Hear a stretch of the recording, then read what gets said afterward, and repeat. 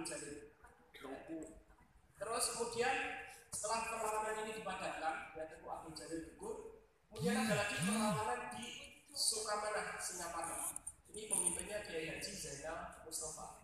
Ini karena menolak memberi hormat kepada arah matahari terbit akhirnya 25 Februari 1944 ya Kiai Haji Zainal Mustafa ini ditangkap kemudian 25 Oktober